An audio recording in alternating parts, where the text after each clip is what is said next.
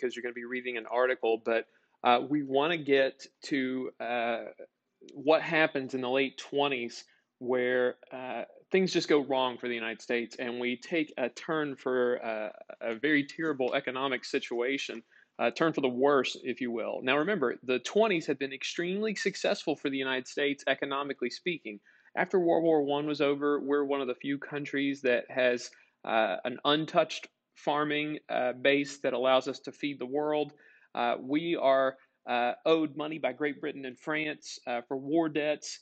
We're a national power now, an international power that uh, we can uh, command more attention, more respect, more power in, on the world stage. And things are going really well for the United States. We're inventing new types of products. Uh, we and a lot of those are luxury, what we would call luxury products. And so these things are making the United States an economic power. The assembly line uh, allows uh, us not only to manufacture those faster, uh, but at the same time, we can start making them cheaper. And ultimately, it provides good paying jobs for individuals. So even regular folks get uh, a taste of these modern conveniences. And so these companies benefit radically. Now, while these companies are performing uh, very, very well for the, uh, the United States as a whole, uh, stock prices are going up, and uh, these companies, people thought, you know, these things are always going to be this way.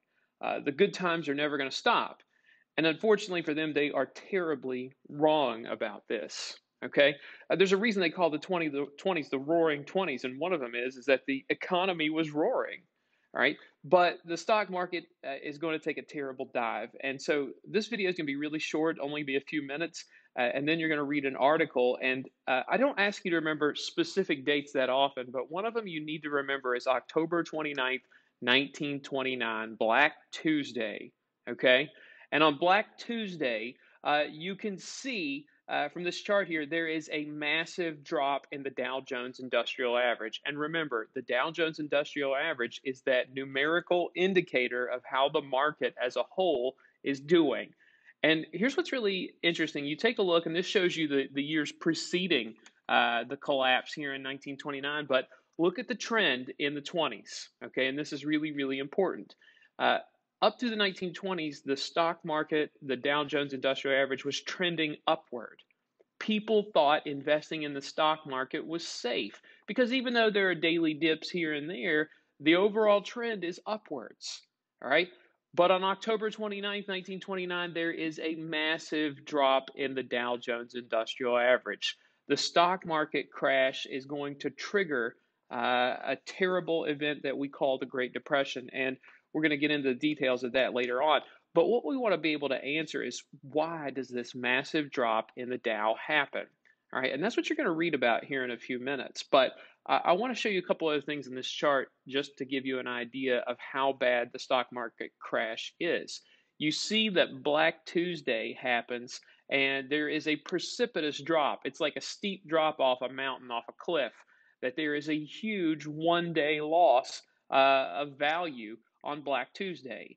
And you see there that a lot of people thought it was going to rebound in the days and the weeks ahead, that there's a short recovery, but look at the trend for the stock market. It drops dramatically. All right, it won't hit rock bottom until 1932. Uh, and one of the things that you know you want to remember specifically is that even though the market uh, you know, does trend back upwards in a lot of instances. Uh, people thought this was a surefire bet. And when it comes to the market and companies, there's no such thing as a sure thing. There's always risk involved. Okay. And we also remember, too, that's why it's a long term investment.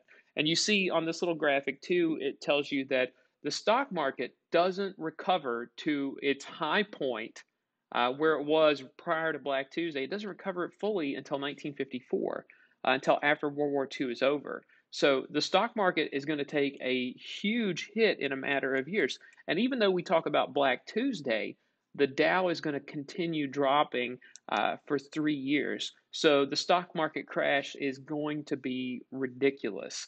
Uh, people who had a stock portfolio, meaning that the, the, the essentially the value of all the stocks that they owned was worth uh, you know tens of thousands, hundreds of thousands, or even millions of dollars, which at that point is even more than it is now. uh, people whose portfolio might have been a million dollars uh, worth of stock one day, the value of that drops to next to nothing on the next day. All right. So, uh, you know, if people who were really wealthy had a lot of their money tied up in the stock market, okay, but average Americans didn't. And you're still going to see, though, that there's a ripple effect. That even though it's going to be the wealthy people who are the big losers uh, on the stock market crash, there's it's like a uh, it's like a, a, tsunami or a tidal wave, uh, you know, that comes from an earthquake. Uh, there's a massive earthquake, and it's really bad if you're around the earthquake, but it triggers a catastrophic tidal wave or a tsunami uh, if and that can be damaging even if you're 100 miles away from the earthquake itself. Okay, and that's what you're going to see today. So uh, once you have finished listening to this, which we're done now, make sure you check out your article on why the stock market crashes. All right, feel free to send any questions my way uh, and uh, be able to answer those questions in the article.